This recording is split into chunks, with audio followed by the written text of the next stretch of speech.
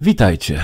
Mleko w akwarium. Tak brzmi slangowe określenie na szaro-białawe zmętnienie wody w zbiorniku. Czasami wystarczy przetrzeć zaparowane okulary, aby zniknęło.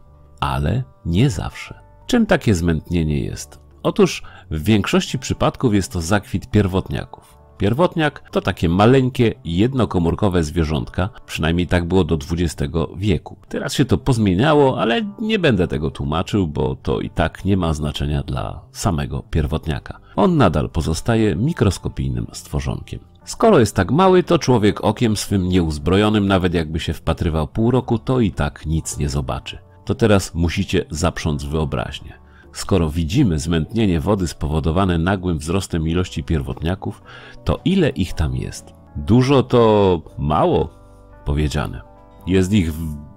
no i jeszcze trochę. Przyczyny powstawania takiej mlecznej wody są różne, choć w sumie przyczyna jest jedna zachwianie równowagi biologiczno-chemicznej w zbiorniku. Z kolei to zachwianie może mieć kilka przyczyn. Pierwotniaki rozwijają się wtedy, kiedy w wodzie brakuje bakterii nitryfikacyjnych. Rozwijają się też wtedy, kiedy w wodzie nie ma chloru. Chlor, o czym przekonali się Francuzi pod Ypres w 1915 roku, jest gazem zabójczym. Dlatego chloruje się wodę też w celu zabijania. Właśnie tych wszystkich mikroskopijnych organizmów, które dla człowieka są niebezpieczne. Chlor z kolei jest niebezpieczny dla naszych ryb, bo powoduje poparzenia i podrażnienia błony śluzowej i skrzeli. Z tego też powodu stosuje się kilka sposobów, aby wodę z kranu pozbawić chloru. Albo odstawia się ją na jakiś czas, przez co bardzo niestabilny w wodzie chlor się ulatnia, albo stosuje się specjalne uzdatniacze, które zamieniają chlor w nieszkodliwe chlorki i znacznie przyspieszają oczyszczanie z niego wody.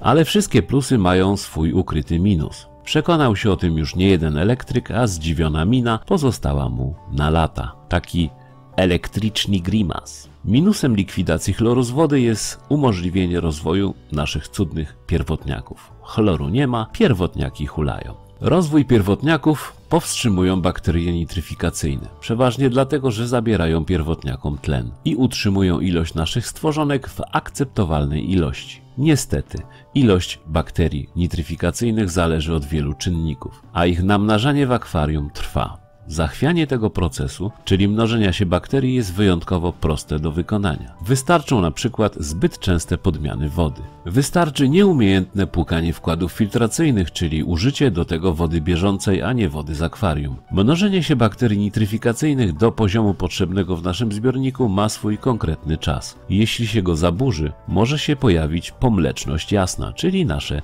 pierwotniaki. Dlatego podawane są ilości pobieranej z akwarium starej wody i wlewanej nowej. To nie jest jakiś wymysł. Procentowe wartości podmiany mają określić ilość nowej, świeżej wody, która zlikwiduje część bakterii nitryfikacyjnych, ale nie zniszczy ich w całości i pozwoli na utrzymanie ich odpowiedniego poziomu. Jak to mówią na Podhalu i w Radomiu, e, a nie, Radom wypadł, to tylko na Podhalu, co za dużo to niezdrowo, albo co za dużo to i lagun nie zeżre. Zmętnienie wody nie zawsze jest winą pierwotniaków. Możemy je też wyprodukować włączając filtr po czyszczeniu. Wtedy ze wszystkich jego zakątków cały syf wyrzucany jest przez wylot i ląduje w akwarium.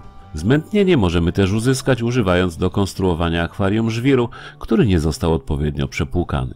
Najdrobniejsze ziarenka tworzą w wodzie zawiesinę, która zmniejsza jej klarowność. Ale takie zmętnienia można nazwać mechanicznymi i wystarczy dobra filtracja, żeby ustąpiły po kilku godzinach. Mleczne zmętnienie wody trwa często znacznie dłużej. Najczęściej pojawia się w nowo zakładanych akwariach, gdzie brakuje równowagi biologiczno-chemicznej. Rzadziej pojawia się w starych zbiornikach, ale i tam może zagościć, jeśli zachwianie równowagi będzie się przedłużać i nasilać. Jak z tym mleczkiem walczyć? Czasami wcale nie trzeba. Zmętnienie potrafi zniknąć samoczynnie po kilku godzinach. Wystarczy podkręcenie trochę filtracji, żeby filtr mógł tą zawiesinę zgarnąć w swoje przepastne kubłowe wnętrze. Zmętnienie spowodowane namnażaniem się pierwotniaków przeważnie trwa w okolicach tygodnia maksymalnie. Po tym kończy się cykl i pierwotniaki szlak trafia. Ale trzeba ten okres przetrwać, nie panikować, nie zmieniać wody, ograniczyć karmienie ryb. Jeśli zauważymy, że rybom brakuje tlenu, czyli gromadzą się przy powierzchni, warto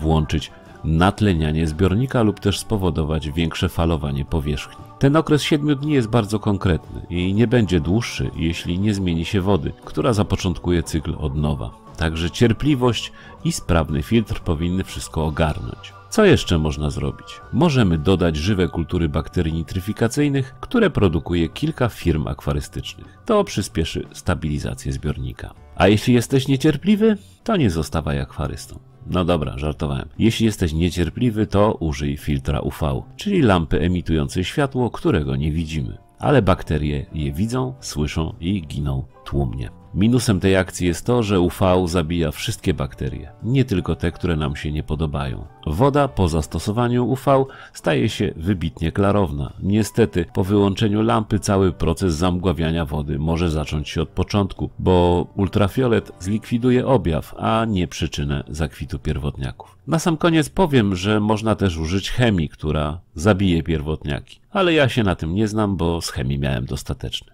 Dobranoc.